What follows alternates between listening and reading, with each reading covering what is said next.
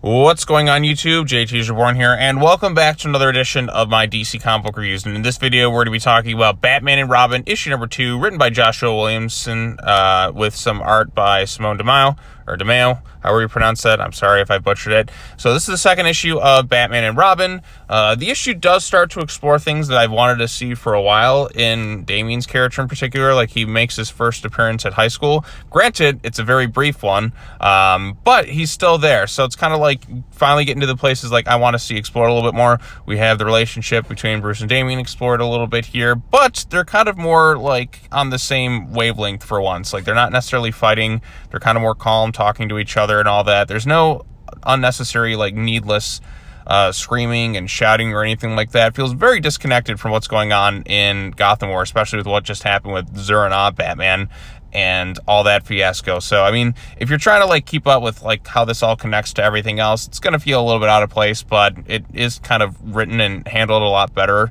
than those other events. So, look to this one more than like say the main Batman book or Detective Comics, if you will. So, at least in my humble opinion. So, um, I guess we'll start out how the issue begins. There are flashbacks to years ago when Damian was more of a more innocent child, I should say. Uh, he sees a bat, he says it's cute, and then his instructor kind of like kills, if you will, kind of like makes him cry in a sense. He's like, oh, these emotions make you weak, yada, yada, yada. Um, this woman right here, I think, is going to end up being the villain Shush. Um, Shush, like, I don't know. Like, I think the name is kind of dumb, personally. We go from Hush to Shush, and every time I hear the word Shush, I think of, uh, if you're a pro wrestling fan, the Chad Gable.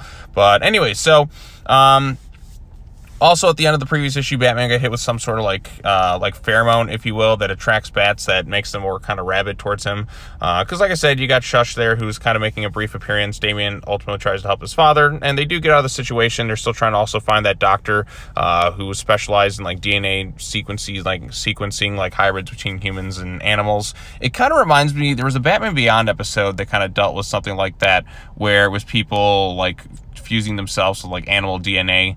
Uh, I can't remember the name of it, but there was an episode kind of focused around that, if you will.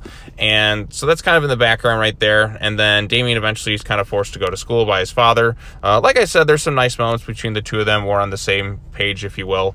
And Damian finally ends up in high school. So this is something I've wanted to see for the longest time with this character. I mean, I feel like it's been forever since we had uh, at least a Bat family member kind of ba balancing the act of school and superhero life. Like, I mean, there's something kind of relatable about that. There's something kind of fun about that, about like uh, seeing a character like Damian who uh, doesn't really take any like crap from anybody like in high school. So he goes there. There's some kids you can kind of hear them talking over that. Like you know they point out like, hey, who's that? Oh, that's Bruce Wayne's kid. Oh yeah, isn't his dad like a broke joke now? And they're kind of laughing.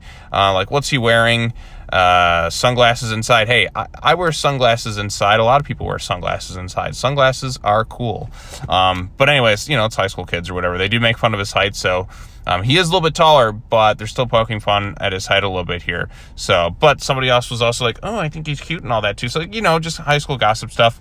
Um, in the last issue, we were kind of talking about the weebification of Damian Wayne and how he had his own little fan fiction book written about himself. Some kid with the exact same haircut as him. I mean, that's kind of one of the issues too. Is like, like the character designs, they're like in terms of like the hairstyles, like why are they like the exact same thing? Uh, some kind of douchey kid kind of takes his book, and you know they're kind of making fun of him. Damian makes a point to just don't touch his stuff. And we do get this image right here of Damian kicking the crap out of them, and then you also see kids on their phone, but it's kind of revealed to be a bit of a dream sequence uh, because it's a little bit confusing sometimes. I think it's one of my issues with uh, this comic book is sometimes the art and like the action are a little bit hard to follow and kind of tell what's going on. You, kind of, have to kind of read it at least like more than once. But for kind of like the smaller moments, like a character like walking in somewhere where there's not a lot going on, on the screen, it looks visually like really nice and striking. Um, but eventually, like I said, his principal kind of interjects, if you will, and kind of stops the whole fiasco. And Damian, who's already kind of tired of everything, doesn't even make it through first hour in terms of high school, and he's already out the door back to doing Robin stuff. So I also think this woman right here uh, is going to end up being the character we see at the very beginning of the comic book. I mean, don't let the good understand high school will be peak for them so like i said that's there, there's something about her that seems awfully familiar um, i'm sure like the very beginning of the comic book that's that's shush and this is going to be her. I think that's the art design just kind of looks very similar, or it could be a red herring or something. But yeah, so Damian's out of there. He goes to help his dad. His dad kind of points out, like, hey, aren't you supposed to be in school? he's like, aren't you supposed to be healing uh, and recovering in that? And then they ultimately kind of like argue with each other, if you will. Um, Damian does bring up the fact that um, there was a, I had a lot more in common with those kids on Lazarus Island because we had issues with our parents and all that stuff. So, and then the end of the issue has like the various villains from before, the animal focused ones, White Rabbit, and you have Shush and everyone uh, ready to go toe to toe with Batman and Robin. So, a lot of different things going on in this issue. Uh, we did kind of like briefly touch upon, like I said, Damian going into school. Granted, it was very short, but it's the kind of like um, the stuff outside the superhero uh, focus stuff is the thing I'm more interested in exploring with Damian's character because I mean we've had years and years of comics of him in the suits, uh, fighting crime and all that, and that's great and all that too. But I like to see like the Damian Wayne side, not always just the Robin side per se. And that's one of the things I did like about uh, the Lazarus uh, kids group, if you will, on the uh, the island, if you will, because we did have those moments of him. Uh, well, I mean, he was still kind of like doing his thing, but we did see him interact with like more people and kind of have conversations and that, like kind of outside of necessarily just crime fighting. And that's the stuff I feel like I'm more interested in exploring. Yeah, there's a little bit of kind of groany, like cringiness with Damian's like weebification and his own self-insert fan fiction. Why he'd bring that with him, I don't know, and how he'd allow somebody to kind of take his stuff like that. I don't know. You get the high school bullies and all that. And yeah, I, am kind of disappointed Damian didn't just kick the crap out of them right there, but I think that was just something kind of in his head. He was just like, ah, I'm done with this. Like the fact that he couldn't tolerate like five minutes of high school uh, is, is, is saying something. So it'll be interesting to see like how he ends up going back to school and how he kind of deals with those types of people. I do want to see him kick the crap out of them at some points. I, I've heard rumblings that he's going to be joining like a sports team like soccer or something like that yeah, I guess that could be kind of fun, but I rather seem to like play a more contact sport where he gets to kind of beat people up, uh, like football in a way, or wrestling. But then again, uh, it is the fall season, so football would start out first, and then like wrestling, and that's like more so in the winter. I think he'd be good in, in shining kind of those more individual based things, but I guess they wanted to do soccer because uh, I feel like if Damian did something like football, he'd genuinely like injure everybody around him or something like that. At least with soccer, you can kind of control different, like he's, he's just kind of kicking. It's it's a much softer sport than you know American football, I should say. So uh, yeah, so like I said, I like the aspects. I like the fact that the relationship between Bruce and Damian's less uh, conflicting in the sense that they're not shouting at each other. There's no like rage yelling or anything like that. They're just kind of like calmly talking to each other. Uh, Bruce is like, "Hey, what's the deal here? You should be going to school. Which again, he's you know, about to be starting high school, if you will. He should be going to school. And yeah, it kind of sucks in some ways. And he is smarter. And Damian brings up some good points. And he's like, I'm smarter than all those teachers and all those students there. Why would I want to waste my time in here? But Bruce is like, it's about making friends. It's about connecting with people. So I like that aspect to it. Um, they still kind of take care of each other and all that. They're solving cases. There's none of this obnoxious uh, Batman possessed or uh, forced conflict between the Bat family members. It's they're they're mostly on the same wavelength. They have some disagreements there there for sure, but they're not constantly arguing at each other. So I like that aspect. Uh, the Shush character or Shush or whatever, not sure what her deal is. Uh, we kind of get a brief glimpse at her. I think she's the woman at the very beginning of the comic book in Damian's past, and I also think she's going to be the principal based on the way the art style is kind of laid out and such. So I think that aspect of it will be kind of interesting to see um, how that's kind of explored, why she chose the name Shush of all things. Because, like I said, we have Hush and then we have Shush. Like, I, I, I don't get the naming of that.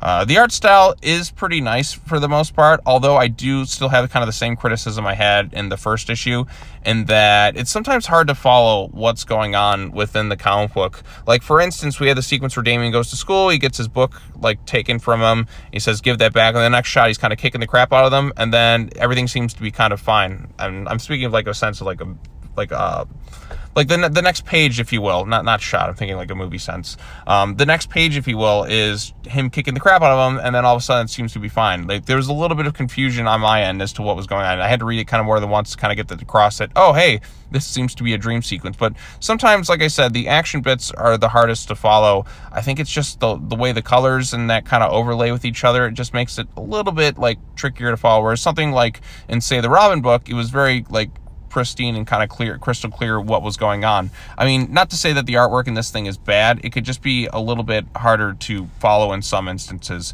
The the bits where they're just kind of sitting there like like the, the kind of quieter, like not in action moments, I think are the best for this particular style.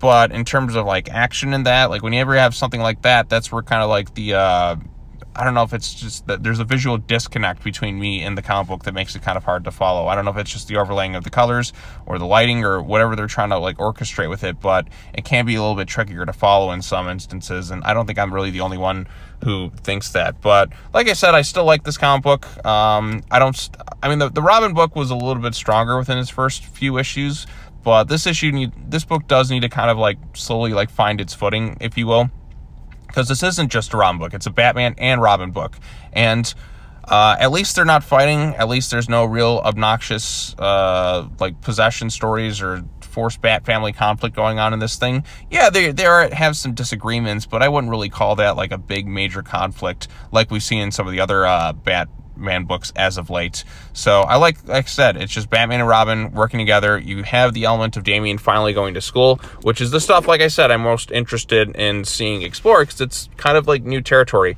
Yes, we've seen every time Damian goes to school, he's either kicked out or something like that. I mean, Gotham Academy, he shows up for like one issue, takes the one or two issues um, at first, takes the fall for Maps Mizuguchi so she doesn't get expelled. And that was it for him at that school. Like, it was a chance to kind of see him maybe make friends his own age, like in school, and then that kind of got thrown aside. Uh, then, of course, we have Super Sons, where he gets like flown in on a helicopter each day. Uh, and again, he was still friends with John going to school there, but we really didn't get to like the deep exploration of his life within school. It's kind of something that was a bit brushed aside, and you felt the sense that his teachers and everyone were awfully kind of cold to him, and he was kind of the same way back. But seeing a little bit more of a mature Damian, also kind of making friends with kids his own age, probably some fellow weebs, if you will, like that's the stuff that kind of interests me the most. So, and like I said, I do like that Bruce and Damian's relationship is not like screaming at each other right now. It's like a sense of peace, and it feels like a nice bit of relief after all the other fiascos that have been going on at DC Comics as of late. So, yeah, I still like this issue. There's still some ways I think can improve. Um, like I said, the art style is good in a lot of pages. It's just the action is sometimes kind of hard to follow.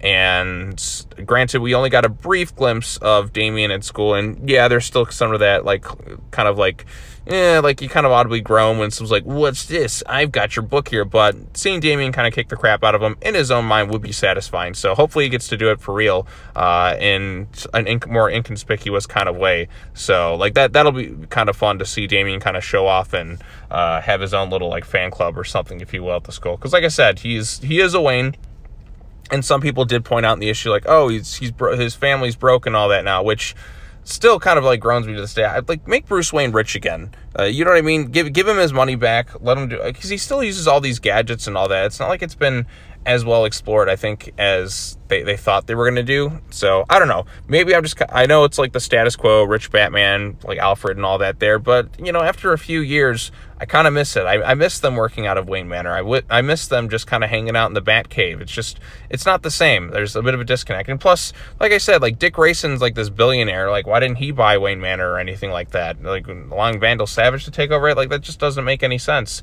Um, and also, like I said, the the way he lost his money, I believe it was during uh, Gotham War, or not Gotham War, the Joker War, and all that. So just just a lot of like stuff that just makes me just audibly kind of groan at times. But uh, anyways, that's all I have to say about this particular comic. Let me know what you thought of it in the comment section down below. Be sure to like this video, share it with your friends, subscribe to the YouTube channel for more content, hit the bell for notifications, all that fun stuff. And I will be back later on today to talk about World's Finest Teen Titans. I haven't gotten around to reading that one yet, but I'm looking forward to it. And then that should be good in terms of DC comic book reviews for the rake. I'm not sure if there's any Godzilla comic books coming out this week, but uh, yeah, we got that to look forward to. I think Justice League vs. Godzilla vs. Kong may come out next week, so I don't know. I still got to think about it. But uh, anyways, thanks for watching, everybody. Put your comments down below, all the other fun stuff, and I will see you all in the next video. Peace.